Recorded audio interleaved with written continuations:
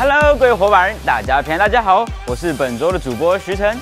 最近天气多变，有时大太阳，有时阴天，又有时下雨天，就如同我们人生不同时刻一样。但是我们的神是用笑脸帮助我们的神，他可以把你的阴天变成晴天。接下来就让我们一起来欢迎本周的 Touch News。圣诞节即将来临，好朋友圣诞市集将再次开张。邀请各位伙伴可以和你的亲朋好友一起来喝咖啡、逛市集，共度美好的圣诞节。另外，在这次的市集当中，我们会将收入在扣掉成本后，全数捐为教会作为建堂的基金。邀请想要为建堂尽一份心力的你，可以用更有创意以及不同的方式建造我们的家。二零二零好朋友圣诞市集摊位募集，邀请你一起加入市集摆摊的行列，成为市集的一份子，一同参与在建造教会的行列吧。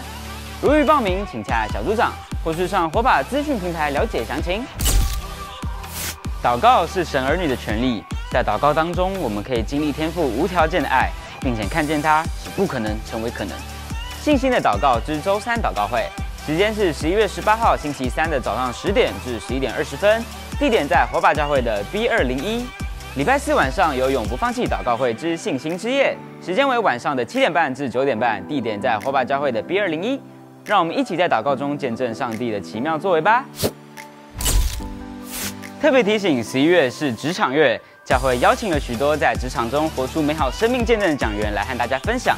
鼓励各位火把人可以一起来参与聚会，学习如何在学校、在职场当中靠主得胜，并且活出美好的信仰见证。最后，我们再次欢迎第一次来到火把教会的新朋友，邀请你会后可以到我们的新人柜台来更多认识我们，也让我们可以更多认识你哦。主播在这边祝福各位火把人，在接下来的一周可以有满满的喜乐。Torches，我们下周再见喽，拜拜。